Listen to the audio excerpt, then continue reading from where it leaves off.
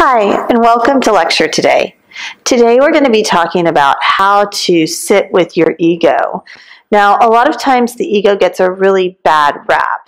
We tend to want to say that the ego is manipulative and egocentric, maybe even childlike. And that's just simply not true. The function of the ego is to keep you alive. And it does this by helping you to determine what is good and bad. Now, we talk about this all the time. From a yoga philosophy standpoint, there really is no good and bad. Everything is just as it is in an experience. And so, if we begin to look at our ego as a function of our safety and well being, then we can understand that the ego has placed these judgments onto things because it has perceived them as dangerous to it or our physical body. Now, the ego doesn't know the difference between the ego, as in the intellectual ego, or the ego, as in the physical body. And because of that, we get really upset when people do things to us or we feel that we've been attacked in any way. When we start to befriend the ego and really sit with it in honest objectivity, then we can really begin to have an interdependent relationship with the part of us that really wants to keep us alive and the part of us that knows that we will never die. From a mindfulness perspective, we can look at all of those internal dialogues that we have about things being good and bad, our own preferences and biases to things, and we can pull back into that observer consciousness and ask ourselves why we've bought into the idea that something is good or why we've bought into the idea that something is bad.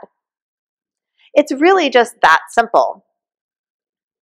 When I feel scared, or when I feel like I'm not being heard, or that my welfare and well being is at stake in any way, I begin to go into my ego.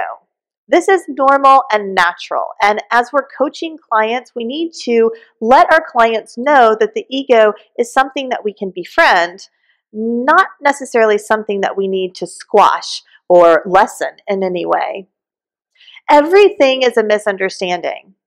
And when we can meet our ego where it's at, hear it, and actually process what it's saying, and then allow it the opportunity to forgive itself for buying into that idea, then we can truly reprogram and repattern not only our thinking, but our behavioral patterns as well. This is a big part of the coaching process sometimes your clients are going to come to you and they're going to tell you, you know, I'm really ashamed of myself. You know, I was in this business relationship with another individual, and that individual ended up doing something that made me feel scared or made me feel like I was going to lose power in my business. So I did something to them in retaliation, and now I feel ashamed.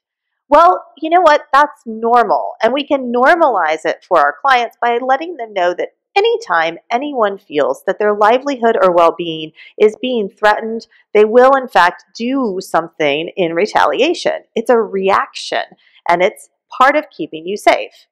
Now, if we are coaching our clients towards better interdependent relationships, then we might offer this as an opportunity for our clients to really come back to do their work with their ego.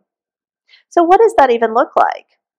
Well, if I buy into the idea that my colleague or my business partner is doing something to uh, take something away from me, then I need to acknowledge that and I need to forgive myself for buying into that. I can acknowledge that I get scared sometimes, and I can acknowledge that I feel scarcity just like everybody else. But if I really pull back and I look at the universe as a whole, I look at even this planet, even the country, and I can see that there is enough for everyone. It's a mindset, it's a perception shift. We're reframing. Sometimes we get scared. Remember when you were a kid and you got scared of the dark? It's really no different. When we reframe the dark as a time for quiet and rest, it no longer feels scary like a monster is going to come out from underneath our bed. We can do the same thing when we react to things that activate our ego's sense of self. The ego doesn't want to be homogenized. The ego doesn't want to be like everyone else. The ego does want to be accepted and it wants to be connected, but it wants to do it on its terms based on its past experiences. And therein lies the misperception.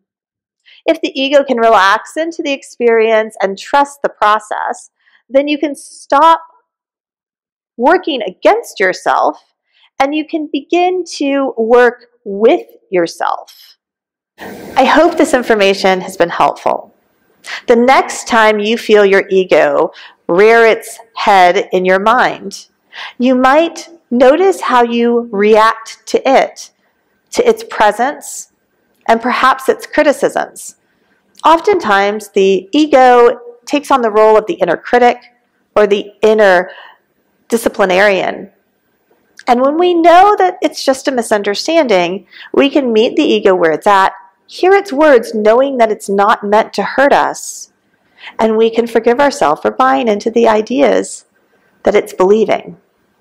When we do this, we create a connection between ego and self that is really always there, but may be elusive because of the perception of separation.